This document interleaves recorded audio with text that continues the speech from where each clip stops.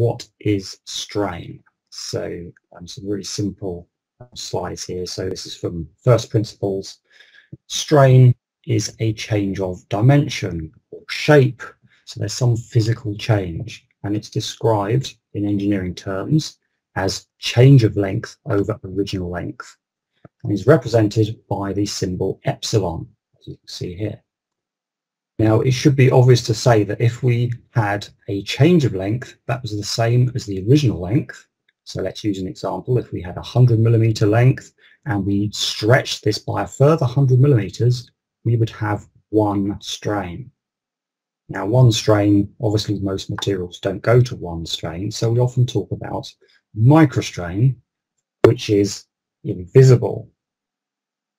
Okay, we can literally measure the invisible.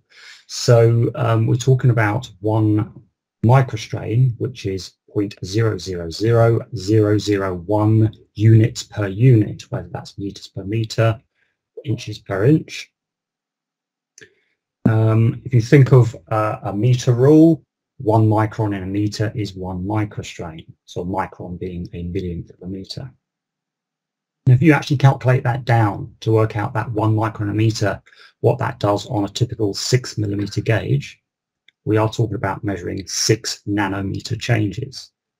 And that only becomes apparent how small that is when you consider the wavelength of visible light is between four and 700 nanometers. So we are essentially um, measuring things that are two orders magnitude shorter than we could see really in, in any sort of visual system. And if you think of a six nanometer on six mil gauge, if we have a one millimeter gauge, we're measuring one nanometer changes. Now, if that doesn't quite compute in your brains, then uh, let's do another comparison. So um, this is a picture of, well, many of you will recognize hopefully the UNESCO World Heritage Bridge, the Forth rail bridge, the Forth road bridge, and then the new Queensferry crossing.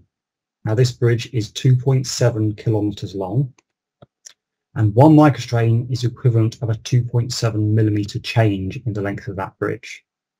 So, you know, as I, as I put here, a typical iPhone, iPhone 12, 7.4 millimeters thick. So it's half the thickness of your mobile phone in two and a half kilometers.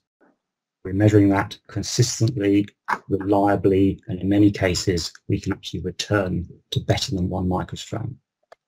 So that's a comparison of what we're actually trying to measure.